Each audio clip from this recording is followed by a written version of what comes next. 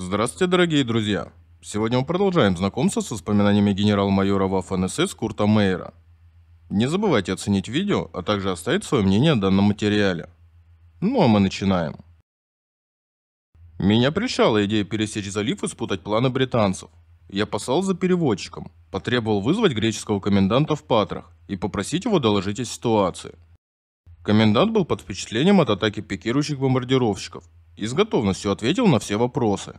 За считанные минуты я получил точные сведения о движении английских войск между городами Каринф и Патре. Я велел коменданту направить офицеров связи в Навпактос. В скором времени я заметил небольшую моторку, следовавшую в Навпактос. Тут сам дьявол вступил в игру.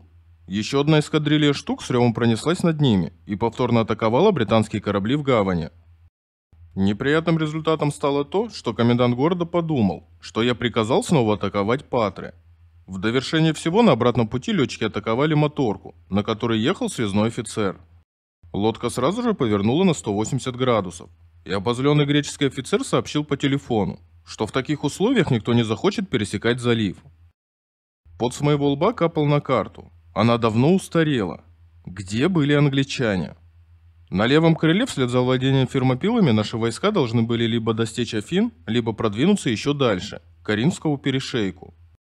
Следовательно, британцам приходилось либо оборонять Пелопоннес, либо взять под контроль греческие порты.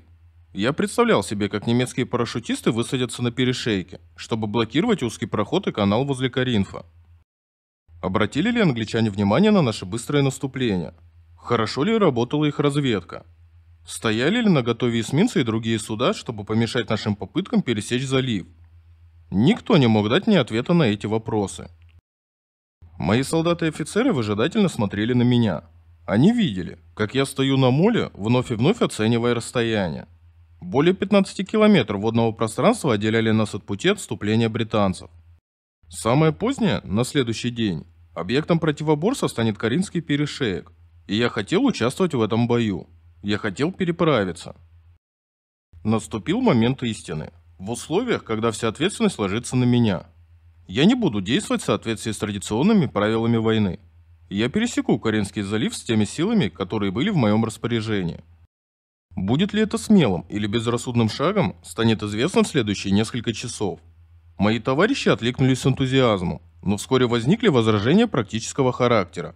Артиллерия не сможет поддержать высадку, Расстояние слишком велико. Военные инженеры обратили мое внимание на высоту волн и состояние жалких рыбацких катеров. Возражения накапливались, но я уже принял решение. Неожиданная атака должна быть успешной. В гавани нами были обнаружены два убогих рыбачьих катера. Их экипажи были доставлены на место. Вторая рота первого разведывательного батальона СС должна была попытаться провести разведку. Сильные руки эсэсовцев подняли тяжелые мотоциклы БМВ и поставили их в катера. Первый катер взял на борт два мотоцикла с коляской и 15 человек. На следующий катер мы погрузили противотанковую пушку и несколько мотоциклов. Боевая задача – перекрыть дорогу, а в случае чрезвычайной ситуации уйти в горы. Затем моторные катера вышли из гавани. Я просился с Хугакрасом и со штурманфюрером СС Грецехом те, кто остался, окрестили мотоциклистов группой смертников. Кто-то в шутку сказал «Осторожно, мина по курсу!» Все засмеялись. Молодой солдат крикнул в ответ «О какой мине идет речь? Для этого ящика хватит и гранаты». Катерок сильно закачало. Волны окатывали нас солеными брызгами. Пулеметчики заняли позиции на носу. Противотанковая пушка была готова вести огонь. Все лодки с нашего берега были направлены в Навпактос. Вскоре остальная часть роты была погружена на плавсредства, а первые катера уже едва можно было разглядеть. На волнах прыгали две крошечные точки. Я опять стоял на пристани и наблюдал за темными точками на воде. Красная ракета возвестила бы о провале миссии и о наличии крупных сил противника. Именно так я договаривался со своими солдатами. У меня появилась резь в глазах. Вскоре я уже был не в состоянии ничего разобрать но никак не мог оторваться от бинокля. К тому времени, когда я уже потерял из виду лодки, моя одежда была мокрая от пота. Мы стояли в ожидании на берегу целый час. Напряжение достигло предела. Через полтора часа опять показались две точки. Были ли это наши катера? Они становились все ближе и ближе. Вскоре можно было ясно различить их очертания. и нам даже видно было движение. Возле меня уже образовался круг из окурков, и я зажигал очередную сигарету. Однако я уже успокоился и начал верить в успех нашей операции. Вдруг на берегу остановился весь пыль штабной автомобиль, а из него выпрыгнули возбужденные офицеры. Я узнал своего уважаемого командира, Зеппа Дитриха, и доложил о своем решении и о ходе операции к настоящему моменту. Делая доклад, я обратил внимание на его прежнюю чертову одышку и взгляд, окинувший меня с ног на головы. Затем надо мной разразилась буря. «Вы что, спятили, принимая такое идиотское решение? Вас следует отдать под трибунал. Как вы можете так обращаться с моими солдатами?» Я не осмелился что-то ответить на этот поток несомненно оправданного негодования. Я стоял у старой стены гавани, поджав хвост, и желал только, чтобы все это кончилось. Вдруг возникла неловкая пауза. Только мои солдаты тихо посмеивались, как будто хотели сказать «Держись, не обращай внимания на его лай». Может быть, он и прав, но переправь нас через залив сейчас, чтобы мы могли еще что-нибудь совершить.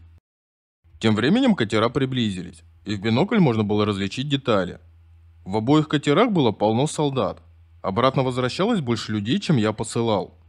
Я не смел сказать это вслух, но было именно так.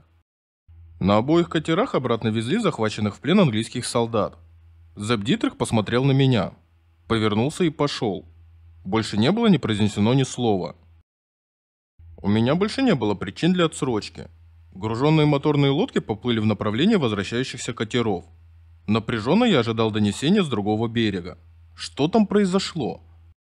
Ротенфюрер СС докладывал, Через полчаса движения на этих скорлупках перед мачтами предстала глыба гористого побережья полуострова Пелопоннес.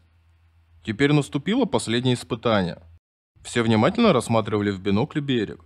До него 800 метров, 700 метров, 600 метров, 500 метров. Оттуда, конечно, должен застрочить пулемет. Каких-то людей в форме между домами и на берегу можно было разглядеть в бинокле невооруженным глазом.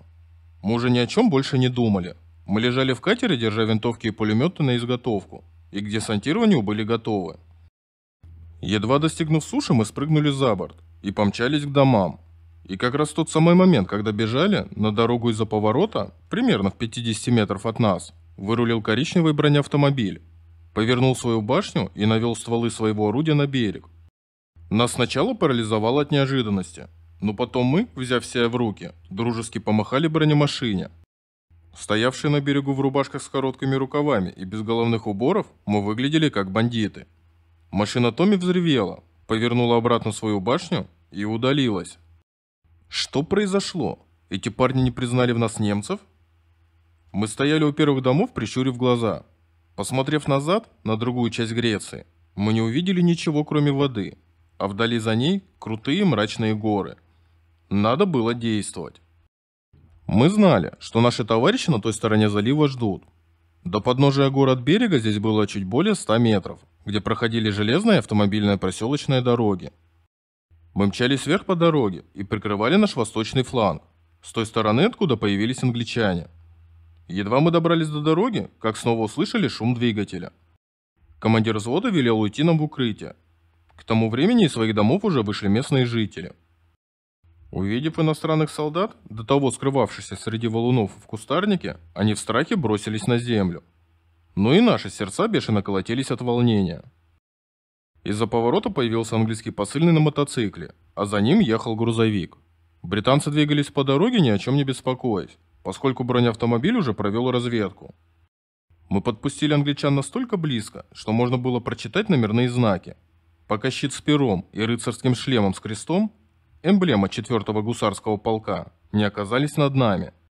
Тогда мы быстро вскочили и крикнули «Руки вверх!». Взвизгнули тормоза. Англичане подняли голову и спрыгнули с грузовика. Нога посыльного на мотоцикле нащупывала землю. Один Томми что-то крикнул. Его автомат полетел в кусты. «Руки вверх! Руки вверх!» Все английские солдаты побросали оружие и подняли руки. Вдруг один из наших выбежал за поворота и крикнул – еще один грузовик приближается. В считанные секунды Сосой вскочил в первый грузовик и отогнал его с дороги. Пленные были быстро отведены за дома. Появилась вторая машина, опять с посыльным на мотоцикле впереди. Удивление и изумление повторилось. Один из Томи только и успел воскликнуть. «Немцы?» И в самом деле, немцы были уже здесь. За несколько минут мы взяли в плен более 40 человек, в их числе трех офицеров. Они нам сказали, что направлялись в порт Патре. Никому из британцев и в голову не приходило, что мы уже пересекли залив. Их часть все еще сражалась возле Каринфа. На этом сегодня все. Если понравилось видео, то поддержите его лайком, а канал подпиской. Всем пока. До новых встреч.